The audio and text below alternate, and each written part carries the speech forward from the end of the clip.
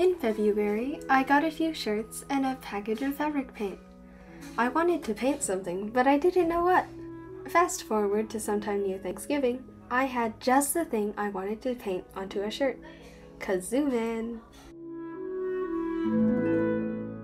I started off drawing him on a thick piece of cardstock to make a stencil, but then I realized it wouldn't it would be hard to cut the little details out.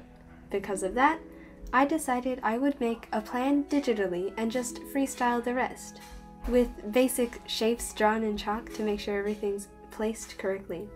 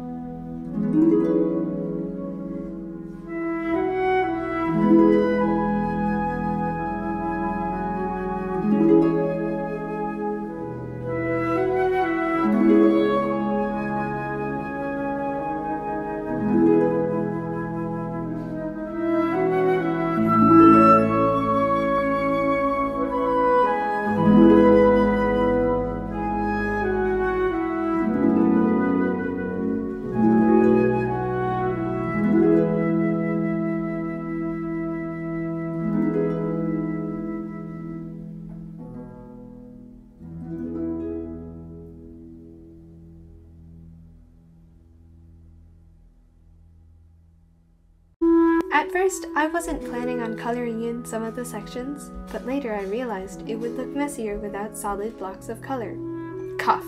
And I was spacing out and colored in the red part of his hair, and decided to man up and stick with it.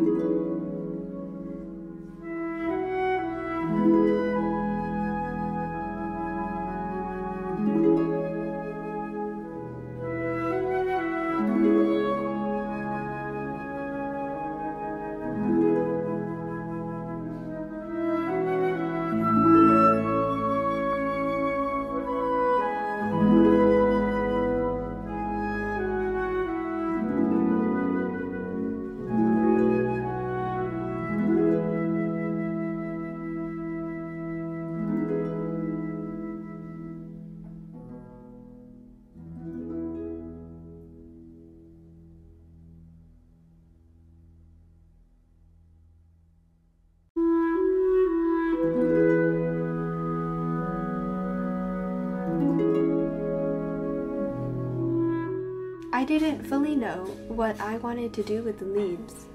My digital plan had them included, but it wasn't giving me the right vibes.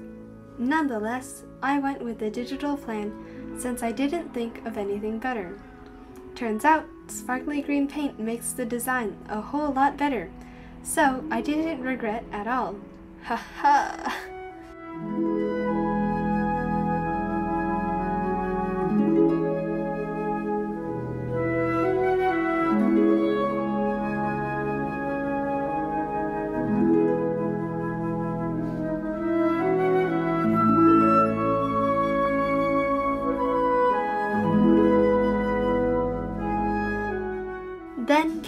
black box. Woo! Boy, that was a test of my patience and my hand steadiness. At moments like these, it really feels like my hands can't stay stable. It's like they sense I'm about to do something important and they want to exact revenge on me. Besides that, I think the lines turned out quite nicely. If not better than. if not better because of the slight shakiness. Painting this shirt has spent a whole lot of my luck and motivation for painting. Good thing I did this. How many months ago? November, December.